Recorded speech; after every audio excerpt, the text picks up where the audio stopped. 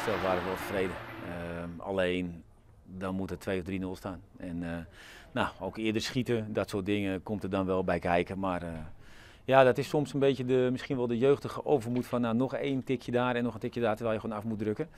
Maar wat daarvoor allemaal gebeurde in opbouw en aanval was, eh, was leuk om te zien, denk ik, voor de mensen en, voor de spelers ook. Dus ik, ik vond dat ze met plezier op het veld stonden. De glimlach zegt het, ja, natuurlijk. We zijn hartstikke blij. En ik denk wel gewoon een hele goede wedstrijd tot uh, ja, eigenlijk de 2-1 die gewoon hartstikke onnodig valt in een dode spelsituatie. En uh, we weten dat dat, uh, ja, dat dat de grootste kansen tegen zijn momenteel, omdat we fysiek natuurlijk ja, vaak wat minder sterk zijn dan de tegenstander. Dus hij gaat erin 2-1, terwijl we eigenlijk al 3-0 moeten maken. Dus we maken het onszelf onnodig lastig. Dus daarom was het laatste kwartier was nog echt wel even bikkelen, maar als team hebben we wel over de streep getrokken. Ik denk dat de tegenstander wel wat gezegd heeft in de rust. En dat weten wij natuurlijk, dat gebeurde vorige week ook. Uh, en die gaan misschien wat feller een duel in, wat uh, proberen ons even aan te pakken. Uh, dat is ook leerzaam voor ons, maar daar moeten we er wel onderuit kunnen spelen, want dat kunnen wij gewoon. dat hebben we niet goed, goed, goed genoeg gedaan, waardoor eigenlijk ja, zij nog niet eens echt gevaarlijk werden, maar uiteindelijk worden ze gevaarlijk of maken ze een kool uit de standaard situatie en dan wordt het 2-1. Heb je niet genoeg afstand genomen, ja, en dan wordt het nog even, krijgen zij nog even het idee dat ze de wedstrijd nog uh, om kunnen draaien. Dus toen werd het wel even moeilijk, zeker omdat we, we eindigen met 9. Dus uh, dat was ook even vervelend. Maar uh, ja, dan is het wel een mooi compliment voor de jongens dat ze hem toch over de streep trekken.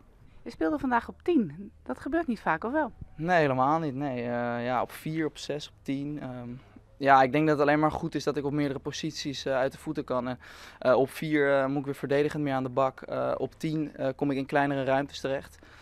Dus ja, voor mijn ontwikkeling is het gewoon hartstikke goed. En vandaag weer 90 minuten in de Jupiler League. Derde overwinning op rij dat ik, dat ik speel. Dus dat is gewoon hartstikke lekker. En ja, op welke positie ik momenteel speel maakt nu even niet uit. Ik bedoel, uiteindelijk wil ik het laten zien op 6. Want ik denk dat daar mijn toekomst ligt. Maar zolang ik nu 90 minuten speel, ja, ben ik blij. Zijn gewoon gedeeld eerst.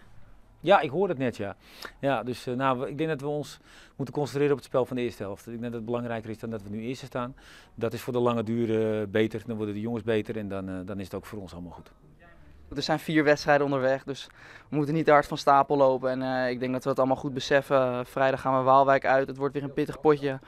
Dus geen één, geen één wedstrijd is een 100% overwinning. We moeten altijd zelf alles geven, maar dan hebben we wel de hele grote kans dat we een winnende wedstrijd kunnen afsluiten.